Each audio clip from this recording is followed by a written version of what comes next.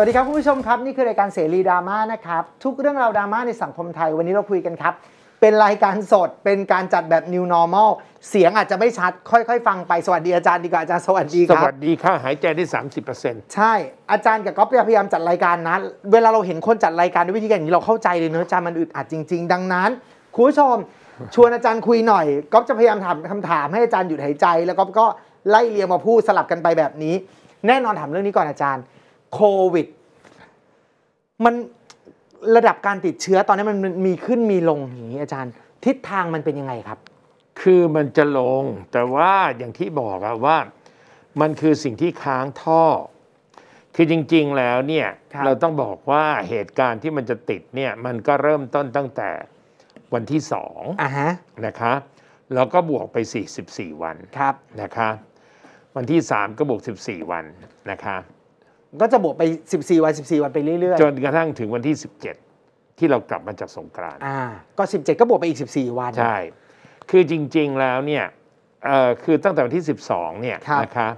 มันก็มีคนที่ตัดสินใจไม่เดินทางจำนวอ่านหนึ่ง มีมีบางส่วนว่าไม่อ่า เดินทางแล้ว แต่เสร็จแล้วที่เขาไปกันเนี่ยไอ้ตรงนั้นแหละค่ะ มันจะทำให้จำนวนเพิ่มขึ้น อาจารย์กำลังเล่าให้ฟังบอกว่าในช่วงก่อนสงกรานต์เนี่ยเราเห็นทิศทางแล้วว่ามันจะน่าจะมีการติดเชื้อ ใช่ ดังนั้น ใครที่ไม่ได้ไปได้ช่วยเป็นส่วนหนึ่งแล้วอ่าฮะส่วนที่ไปก็ไปแล้วแหละอ่าแต่ต้องรู้ว่า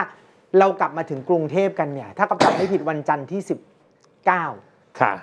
ดังนั้นบวกอีก14วัน นั่นแหละ บวกอีก14 วันก็คือ 19 ถ้าเกิด 29 ก็คือเท่ากับเอ่อ10วันละ10วันละแล้วก็30 30หนึ่งสอง1สาม2 3อะงั้นพรุ่งนี้มาดูกัน คือถ้าพรุ่งนี้เป็นต้นไปจะลดเรื่อยๆ แปลว่าสถานการณ์คุมอยู่แล้วค่ะ แต่ระที่หว่างจริงตอนนี้อยู่นะ อะก็ไม่ถามว่าเพราะว่าหงถ้าเราดูแต่ละจังหวัดส่วนใหญ่แล้วครับแต่ละจังหวัดลดลงเพียงแต่มันไปเพิ่มจังหวัดไงครับ ครับ มันก็จะเปิดเขาเรียกอะไรจังหวัดที่สีแดงเนี่ยเยอะขึ้น ฮะ หลายจังหวัดมากขึ้น ถูกต้อง เพราะว่าคนกระจายไปไงกลับบ้านกันน่ะ จังหวัดที่ไม่เคยมีก็มี แล้วที่น่ากลัวคือพอติดไปแล้วเนี่ย ระยะเวลาของการที่โรคมันจะคุกคามเรามันเร็วมาก คือจมีตอนนี้ที่น่ากลัวคือครับมันติดเป็นคลัสเตอร์อ่ามัมันไม่ได้ติดทีละคนสองคนนะคะถ้าเราดูแล้วเนี่ยปรากฏว่าครับถามว่าติดจากตรงไหนหนึ่งครอบครัว อ่า ที่กลับไปเยี่ยมกันเนี่ยเริ่มมาแล้ว เพราะเราไม่รู้ว่าใครเป็นบ้างสองที่ทำงานครับนะคะเพราะเราไม่รู้เราก็ไปทำงาน ไปประชุมไปสัมมนาอะไรต่างๆ นานานะคะสามกิจกรรมบุญ งานศพงานบวชงานแต่งงานเลี้ยงฉลองงานขึ้นบ้านใหม่งานวันเกิดครับเนี่ยอันนี้คือคลัสเตอร์ใหญ่ ทีนี้คลัสเตอร์ใหญ่เหล่านี้ถามต้นตอมาจากไหนครับ ต้นตอก็คือคนไปเที่ยวสถานบันเทิง ไปเที่ยวสถานบันเทิงแล้วไปทำงาน ไปเที่ยวสถานบันเทิงแล้วกลับบ้าน ไปเที่ยวสถานบันเทิงแล้วก็ไปงานบุญอ่าคนเหล่านี้มันก็ติดเป็นคลัสเตอร์ ติดครับที่โรงเรียน ติดที่ทำงานอะไรอย่างนี้เป็นต้น เพราะฉะนั้นเวลาติดทีเป็นคลัสเตอร์เนี่ยเอ่อก็เห็นตัวเลข 30 คน อ่ามันจะมากันเป็นจำนวนเยอะ 25 คนอะไรอย่างเงี้ยนะครับแต่ตอนนี้อย่างกรุงเทพเนี่ยก็ลดลงอ่านะคะเชียงใหม่ก็ลดลงครับเพราะฉะนั้นหลายจังหวัดที่เป็นตัวต้นต่อได้แก่ กรุงเทพนนทบุรี สมุทรปราการนะคะแล้วก็ปทุมธานีชนบุรีเชียงใหม่ ถ้าจังหวัดเหล่านี้ลดลงเนี่ยจำนวนก็จะลดลงเรื่อยๆค่ะอืมซึ่ง ยอดผู้เสียชีวิตในอย่างวันนี้ก็ 21 ราย ที่เสียชีวิตเยอะครับเพราะอย่างนี้กคอรัฟบอย่างที่กอฟเคยเล่าให้ฟังเรื่องเพื่อนกอฟคือการเป็นรอบนี้จะไม่รู้ตัว ใช่มันสั้นด้วยไม่รู้ตัวด้วย ไม่รู้ตัวนะคะ กว่าจะรู้ตัวเนี่ยมันกินปอดไปครึ่งทางแล้วค่ะ เพราะฉะนั้นพอรู้ตัวมีอาการหายใจขัดมีอะไรต่างๆ ไปหาหมอปรากฏพอหมอต รวจเนี่ยก็จะพบว่าไปเยอะแล้ปวอดไปเยอะแล้วค่ะ ก็เลยทำให้ตายเยอะ ใช่ เพราะว่าตัวเลขการเสียชีวิตเนี่ยอย่างล่าสุดก็21รายอย่างที่บอกแล้วล่าสุดเนี่ยก็คือคนในวงการบันเทิงนักคอมชวนชื่นนี่แหละ ก็เสียชีวิต ต้องบอกว่ากรณีนักคอมเนี่ยอาจารย์ก็ใช้ระยะเวลาไม่น้อยนะ เพราะเขาบอกว่าตรวจ 12 เมษาแล้วใช้เวลาเกือบ 2 อาทิตย์ครับในการดูแลและเธอก็จากไปค่ะ มันก็เลยคนก็เลยเหมือนเหมือนพอพอมีกรณีของนักคอมเกิดเนี่ยคุณ เกิดขึ้นคุณผู้ชม คนก็เหมือนยิ่งเห็นภาพชัดว่าโลกมันรุนเขาเรียกเชื้อมันรุนแรงเร็วค่ะมันเร็วใช่เชื้อมันเร็วมาก นอกจากนั้นคนก็เลยยังเหมือนแบบวิพากษ์วิจารณ์ว่า มันช้าไปไหมสำหรับแบบการดูแลประชาชนในแง่ที่มันเร็วอย่างนี้ เอางี้ครับ ประเทศที่ฉีดวัคซีนแล้วเนี่ยติดมากหรือติดน้อยกว่าเรา ประเทศที่ฉีดวัคโอ้ติดมากกว่าเราเยอะเลยครับ มันเรื่องวัคซีนก็เรื่องหนึ่งถ้าครับได้เร็วก็จะดีครับ แต่จริง ๆ หมอเขาบอกแล้ววัคซีนธรรมชาติเรามีไหมหน้ากากใช่ ล้างมืออยู่ห่างนั่นคือวัคนี่ซีนคือธรรมนี่คือชาติวัคซีนธรรมชาติของพวกเรากอฟส่วนใหญ่คนที่ติดรอบนี้คือครับเป็นคนที่ไม่ทำตามที่หมอเขาแนะนำเรื่องอ่า วัคซีนธรรมชาติ นี่อย่างเราอยู่ใกล้กันเนี่คยรับ นะคะ เราก็ เราก็ใส่หน้ากาก แต่ใช่ ถ้าเกิดเราจะอยู่ ถ้าเรายิ่งใกล้กว่านี้เนี่ยเราไม่เอาแล้ว ไม่เอาแล้วใช่เราต้องก็อพยู่ยายาอมย่างนี้นี่คือการรักษาระยะห่าง เสร็จแล้วเนี่ยก่อนที่พี่จะสัมผัสพื้นผิวครับอะไรเนี่ยก็เห็นพี่ทำอะไรไหมอาจารย์มาถึงอาจารย์ฉีดทั่วเลยครับอ่าอย่างนี้เพราะว่าก็ฉีดแล้วอาจารย์ฉีดเยอะกว่าครับอีก ก็คือเพราะว่าเราไม่รู้มือเราจะไปสัมผัสเมื่อไหร่ครับ แล้วถ้าเราสัมผัสแล้วถ้าเกิดเราคันเผลอจไปมูกคันเราคันไปอะตาขึ้นมาล่ะ อันนี้ต้องระวัง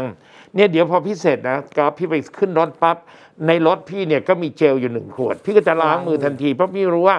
พี่จับราวบันไดไหมพี่จับลูกบิดไหม เพราะว่าอย่างน้อยที่สุดเนี่ยนะคะก่อนที่พี่จะจับหน้ากากถอดออกเนี่ยครับ พี่ล้างมือเรียบร้อยแล้วค่ะ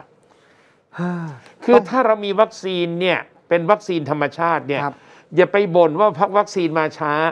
แล้วจริง ๆ แล้วเขามีแผนที่นะคะเขามีแผนที่ให้เรากดไปเลยนะคะว่า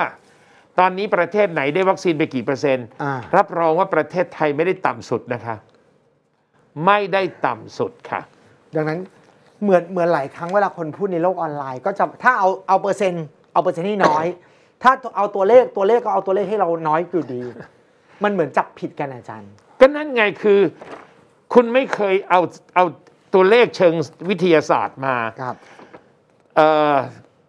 กับถ้าครับกับเอาประเทศที่มีประชากรใกล้เคียงกับเรานะคะ คือประมาณ 60 กว่าจนถึง 80 เยอรมันฝรั่งเศส อังกฤษแล้วก็เรา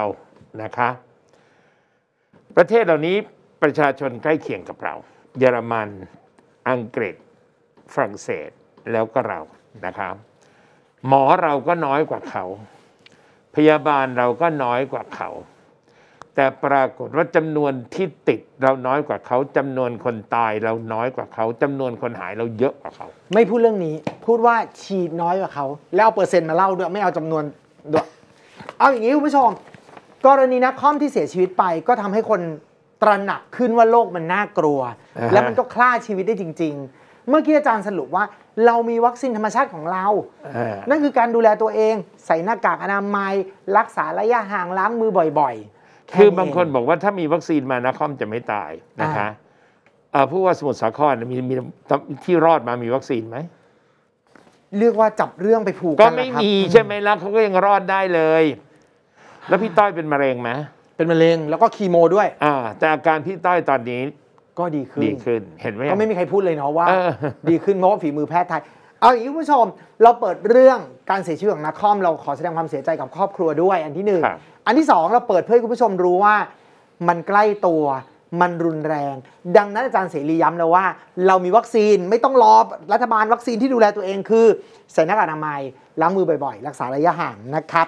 อะมาดูดีกว่า4ี่ห้าเรื่องที่วันนี้ทีมงานเตรียมมาให้อาจารย์ครับ เรื่องที่หนึ่งครับอาจารย์ หมอพร้อม แต่รัฐบาลไม่พร้อมระบบลงทะเบียนอะวัคเดี๋ยวซีพี่นจะล่สู้มเดี๋ยวตั้พี่งจะแต่สู้วันแรกอะเดี๋ยวพี่จะสู้ด้วยโทรศัพท์อันนี้ เดี๋ยวเข้าเรื่องนี้อาจารย์จะลองโหลดแล้วก็ลองให้ดูนะว่าไหวไหมอะเรื่องที่สองเขาบอกอย่างนี้อาจารย์ ผู้ว่าสั่งปรับบิ๊กตู่6,000เปิดหน้าหน้ากากระหว่างประชุม ก็ถูกต้อง เราพูดคราวที่แล้วแล้ววันนี้เขามีการปรับกันจริงจังถูกต้องเดี๋ยวมาเล่าอีกทีหนึ่ง เรื่องที่ 3 ครับอาจารย์ประชาชนจี้รัฐมนตรีดัง หลังเต้มงคลกิจแชร์ภาพปาร์ตี้ แหล่งคลัสเตอร์ทองหล่อยังไม่ได้บอกวันที่ค่ะ อะยังไม่ได้บอกวันที่นะ เดี๋ยวว่ากันนะ อันนี้ไปไปนอกเรื่องมั่ง แต่ว่าอยู่อยู่เกี่ยวกับโควิด ขายประกันยังไงให้ตกงาน ลูกค้าไม่ซื้อส่ง SMS เย้ยบัตรทองอันเตียนี้งสไม่นามรถูอกอยู่เลยค่ะ ไม่ถูกเลยค่ะ นะ ไม่ว่าจะขายอะไรก็แล้วแต่